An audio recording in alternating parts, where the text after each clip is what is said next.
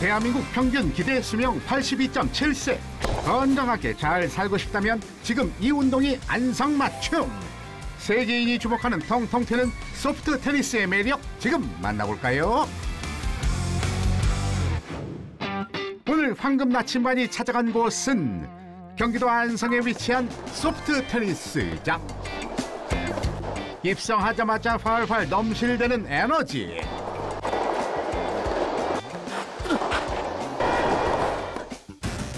오는 9월 3일에 열리는 제17회 안성 세계 소프트 테니스 선수권 대회 국가 대표팀을 만나봤습니다. 세계 선수권이라 우리나라뿐 아니라 동남아, 유럽, 남미 다 통합해 아프리카까지 이번에 출전하거든요. 소프트 테니스의 최고 권위 있는 대회라고 생각하시면 됩니다.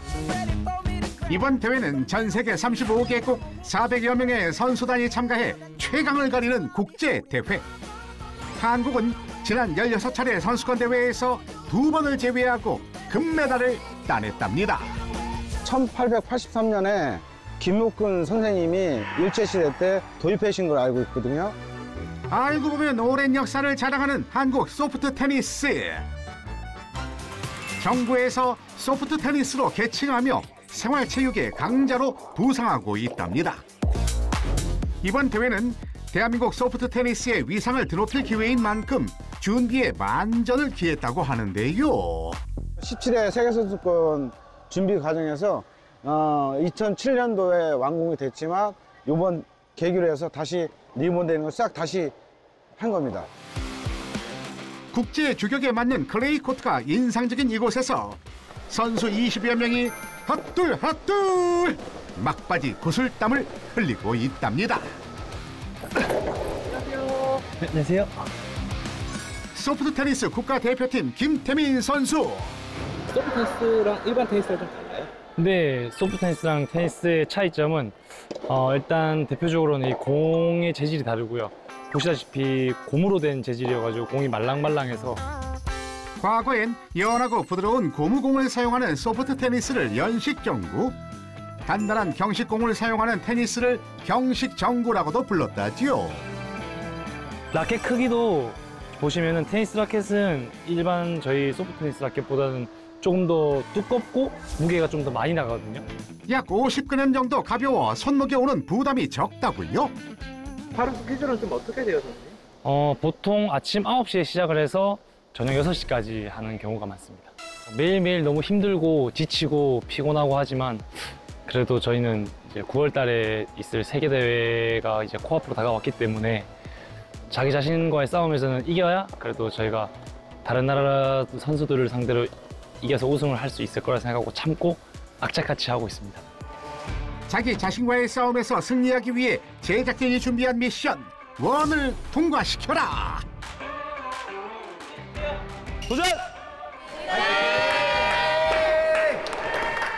나비처럼 날아서 벌처럼 쏴라. 사뿐히 골인.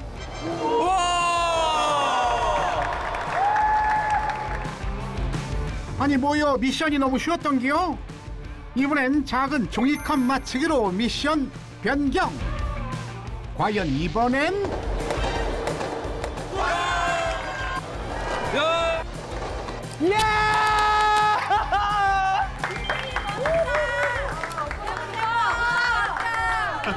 넣은 거 보니까 어때요? 와 멋있어요.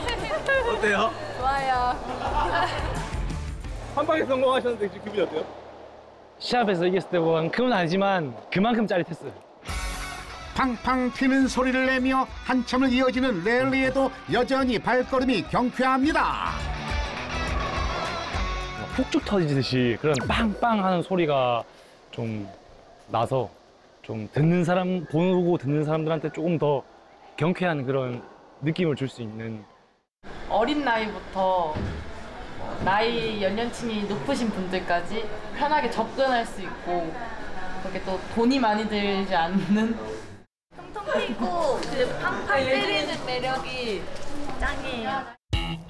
새벽부터 시작된 훈련은 저녁 6시가 되어야 끝이 났는데요. 포인트, 백핸드, 매일 반복되는 훈련이 고될 수밖에 없을 텐데 안 힘들어요? 그래도 꾸준한 연습과 노력을 절대 게을리하지 않습니다. 뭐가 잘 안 돼요? 네. 어떤 게 잘 안 돼요? 몸이 자꾸 내 들어와요. 카메라 의식한 건 아니고. 아, 살짝 없지 않아 있어요. 아 그래요? 올려야죠, 시합 때까지. 좋은 성적을 거둬 소프트 테니스를 널리 알리고 싶다는 국가대표 선수들. 이번 대표팀에 처음 입장하게 되었는데, 어, 제가 아무래도 경험도 적고 하지만 이렇게 노력했던 땀방울만큼 좋은 결과 가졌으면 좋겠습니다. 끝날 때까지 일단 다치지 않았으면 좋겠고 어, 꼭 매달 하나씩 자기가 원하는 목표를 잘 이루었으면 좋겠습니다. 1등 하고 오겠습니다. 파이팅! 화이팅! 대한민국!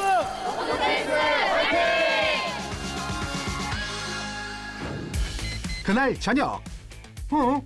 안성 소프트 테니스 구장의 불이 여전히 밝게 켜져 있는데요. 저녁임에도 불구하고 구장에선 치열한 승부가 계속되고 있습니다.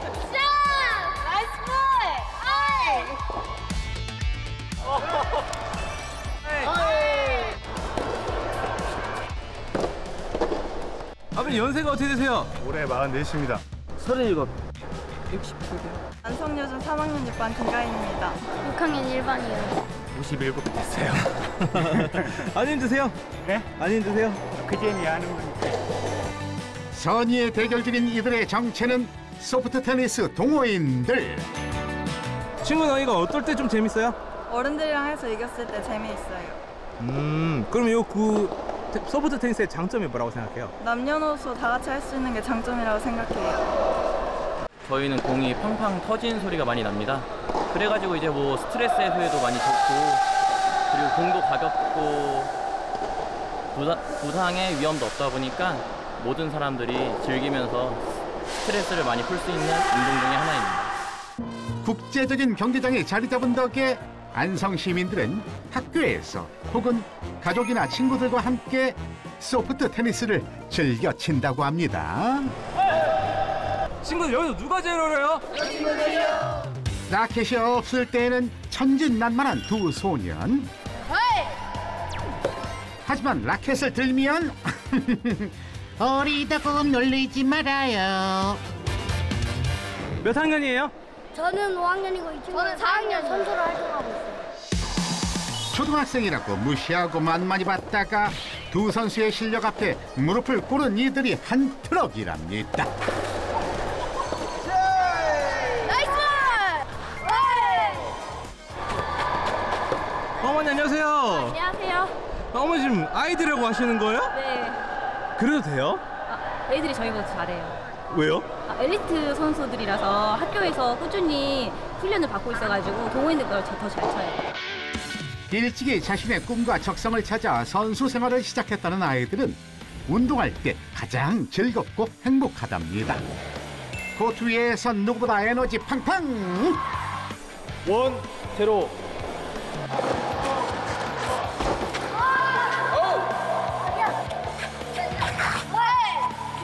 지금 계속 점수 지시고 계신데 어때요? 아이들 너무 잘해요. 저희가 못 이기겠어요. 이기려고 하지 마세요. 그냥 즐겨요. 동호회 역사가 어떻게 될까요? 역사는 근 30년 된 걸로 알고 있고요. 제가 참가한 거 이제 한 10여 년 정도 됐는데 예전에는 이런 시설이 없을 때는 각 학교마다 동호인분들이 몇 분씩 이렇게 산재해 계셨어요. 소프트 테니스 동호인들을 중심으로 초등학교부터 지역 내 실업팀까지 이어지는 안성만의 특별한 시스템이 구축됐다는데요. 그 학부모님들이 지금 더 많이 참석하시는 쪽이에요. 예전에는 잘들 제래 생소한 종목이었다가 관심을 갖는 젊은 분들이 꽤 생겼더라고요. 아이들과 부모, 조부모까지 온 가족이 건강하고 경쾌하게 즐길 수 있는 소프트 테니스. 자녀들도 같이 하고 있으면 어떤 거 같으세요? 아 일단 아이들하고 같이 운동할 수 있는 기회가 좋은 기회가 되고 그리고 뛰는 운동이잖아요 건강에도 굉장히 좋은 기회가 돼서 같이 즐겁게 운동하고 있습니다 애들과 같이 어울려서 운동할 수 있게 건강을 위해서 하고 있습니다. 다 같이 나이 상관없이 다 같이 즐길 수 있는 게 장점이라고 생각해요. 어느덧 시간은 흐르고 흘러 오후 6시에 시작된 동호 활동은 밤 10시가 돼서야 마무리되는데요. 그런데 마지막으로 꼭 해야 하는 게 있답니다. 뭐 하고 있는 거예요? 아, 코트 정리하고 있어요. 왜 정리해요? 저희가 쓴 코트는 저희가 정리해야 돼서. 소프트 테니스가 가장 즐겁다는 안성의 꿈나무들. 오늘 흘린 땀이 장차 값진 보상의 결실을 맺길 바랍니다. 앞으로 어떤 선수가 되고 싶어요? 전국 대회에서 우승하는 선수. 안성수처럼 주다영 선수처럼 멋있는 선수가 되고 싶습니다. 소프트 테니스계 조코비치가 되고 싶습니다. 국가대표가 돼서 이름을 널리 날리고 싶어요. 화이팅!